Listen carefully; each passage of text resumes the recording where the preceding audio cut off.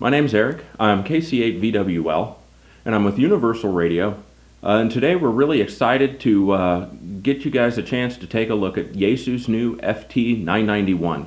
This is one of the first color TFT touchscreens that's made it into the amateur radio market. It's got a really beautiful display on it uh, that shows you a lot of great information. Coverage on this is 160 through 6 meters. You got 2 meters and 440. You've got 100 watts on HF and then 50 watts on both the 2 meters and the 440 band. The cornerstone of what this radio is is their floating 32-bit IF level DSP, same technology used in their FT3000 and their FT1200. That's trickled down into this much more compact base rig.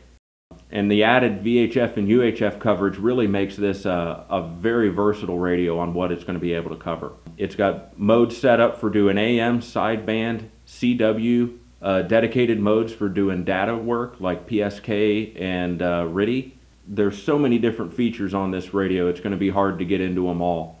But uh, Yaesu did a really phenomenal job. It's a very versatile sized radio. They, they actually make a mobile bracket for this. It's capable of driving Yaesu's ATAS 120 antenna. So it can be mobile mounted and worked even though it's a little bit large. It's going to give you a lot of capabilities for use out in the field and is, is a really solid base station at home. I really like the ergonomics of the radio. Uh, you still got a very large tuning knob. And using the touchscreen to navigate through your bands and through your functions are very, very easy. This radio I was able to sit down and just start playing around with. And, and if you're used to working some other radios, uh, it's fairly intuitive and easy to use, which I was surprised for as much as this can do.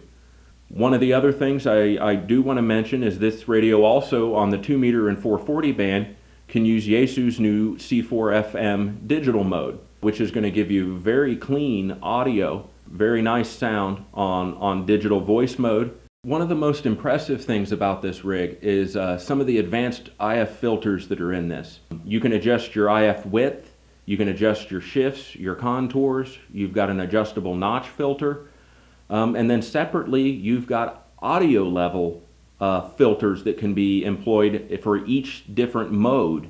So you can set up specific filters for CW or sideband operation or data work. And with the capabilities of today's more modern receivers, uh, it's really advanced operation that's going to offer great performance, uh, even on crowded bands and, and noisy band conditions.